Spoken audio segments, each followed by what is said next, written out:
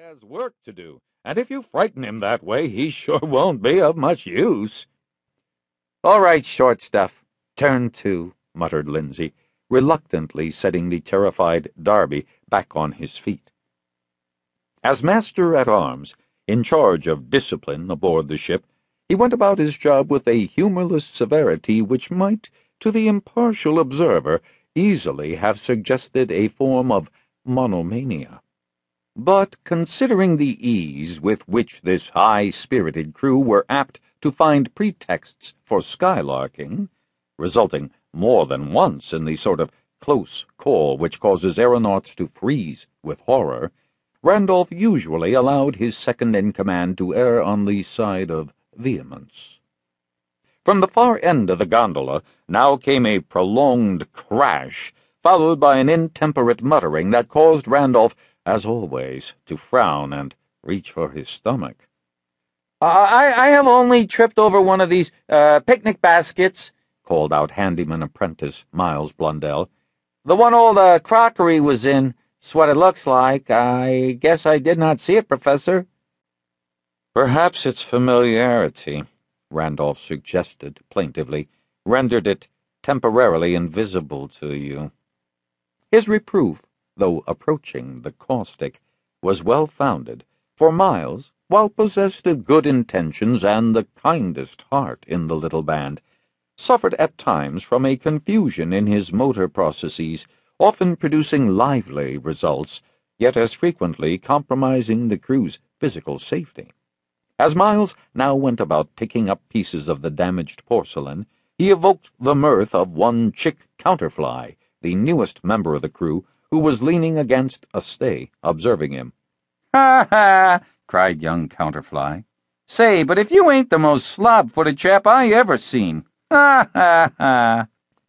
An angry retort sprang to Miles' lips, but he suppressed it, reminding himself that, as insult and provocation came naturally to the class from which the newcomer sprang, it was upon his unhealthy past that one must blame the lad's habits of speech. Why don't you give me some of that fancy silverware, Blundell? young Counterfly now continued. And when we get to Chicago, we'll find us a hock shop and... I recall to your attention, replied Miles politely, that all tableware bearing the Chums of Chance insignia is organizational property to be kept aboard ship for use during official meal periods. I like Sunday school around here, muttered the picklesome youth. At one end of the gondola, largely oblivious to the coming and going on deck, with his tail thumping expressively now and then against the planking, and his nose among the pages of a volume by Mr. Henry James, lay a dog of no particular breed, to all appearances absorbed by the text before him. Ever since the chums, during a confidential assignment in our nation's capital, see, the chums of chance and the evil half-wit, had rescued Pugnax, then but a pup, from a furious encounter in the shadow of the Washington Monument between rival packs of the district's wild dogs, it had been his habit to investigate the pages of whatever printed material should find its way on board in convenience, from theoretical treatments of the aeronautical arts to often less appropriate matter, such as the dime novels though his preference seemed more for sentimental tales about his own species than those exhibiting extremes of human behavior which he appeared to find a bit lurid.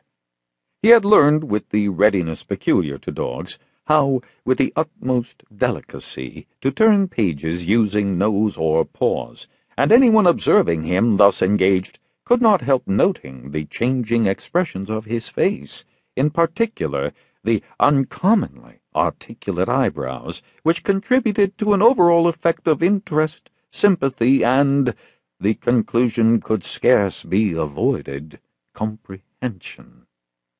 An old aerostat hand by now, Pugnax had also learned, like the rest of the crew, to respond to calls of nature by proceeding to the downwind side of the gondola, resulting in surprises among the surface populations below but not often enough or even notably enough for anyone to begin to try to record, much less coordinate reports of these